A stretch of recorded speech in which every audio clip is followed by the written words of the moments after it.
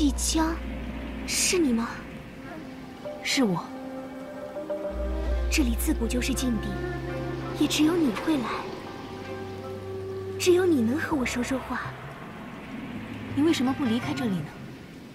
去外面的世界看看。我不敢。我幼时跌落海中溺亡，却一直不甘心就此离开父母亲。我的魂魄化身小鸟，想要填平东海。我只是恨我的早夭，让我无法再陪伴父母亲。但是我却做了那么可笑的事情。如今炎帝后也已去，你们不是可以一家团聚了吗？本意如此。可是数年前，天河不知道用了什么办法，在人间和黄泉之间打开了一条裂缝。对人间留有执念的不少怨魂都趁机而出。不知道是不是我之前的怨念太重，这次也被波及。我不知道该怎么回去。又是那田河。如今我只敢守在这里，生怕再造下更大的灾祸，污了父亲的圣名。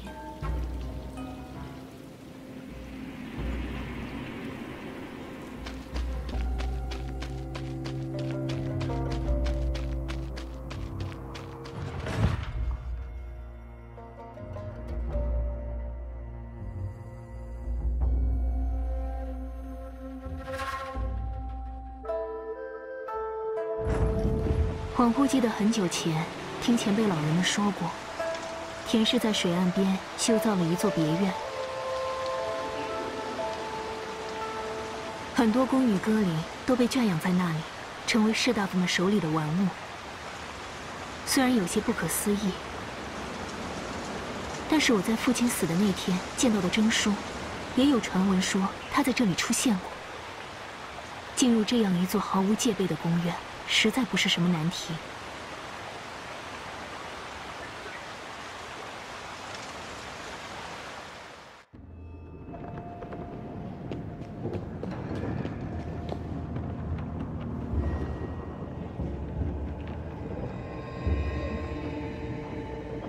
请问，你居然看得见我？嗯。你是谁？为什么到这里来？呃，刚才进来的那个人，我是他的随护。哦，是吗？也是来寻欢作乐的吗？那你也快进去吧。他们摆弄这块石板已经很久了。要怎么做？你不教教我吗？这是此处的布局，用石板连通那些闪光的房间，才能打开封印。那我试试。喏，这块石板给你吧。我留着也没用，还愣着干嘛？那些闪光的房间中都可以寻到石板，找全所有的石板就能通往别院深处了。多谢指点。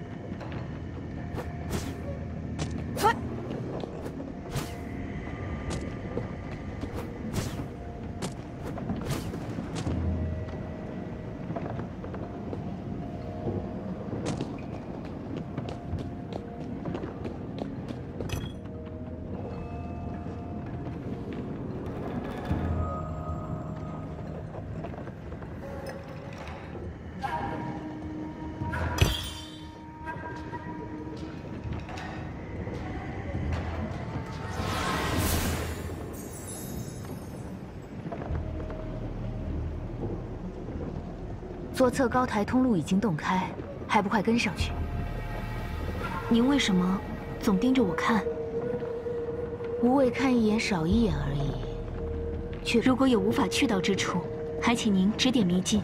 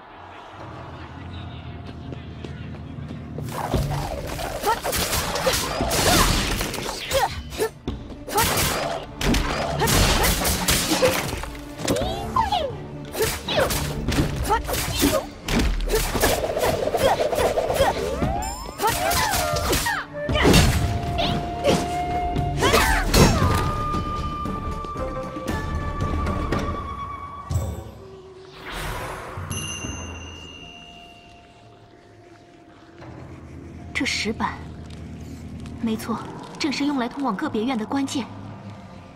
慢着，石板中似乎存有一些早先的记忆画面。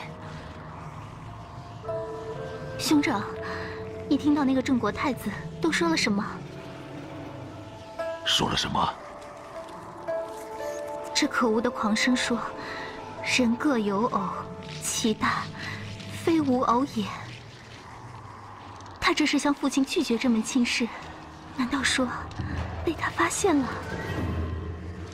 我们两人的事情如此隐秘，不会有人知道的。就算有流言，也不会传到父亲耳朵里。你放心吧。兄长，那我们以后还能这样日夜相对吗？那是自然。你真美呀！哪像人间的女子，简直像是妖狐转世。呸！哪有这样夸人的？我就算是妖精，也要做蜘蛛精，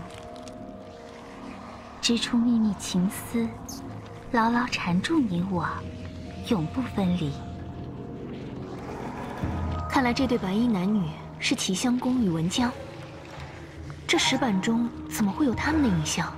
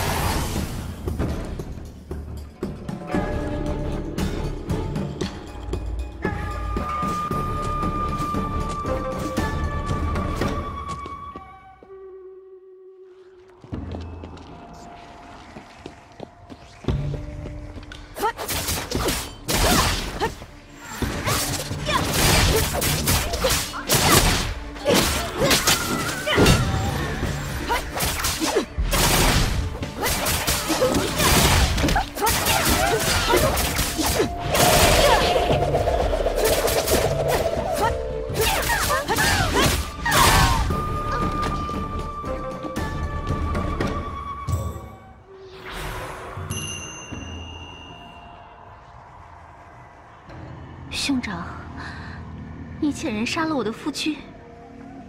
不是你说他发现了我们的事，斥责于你吗？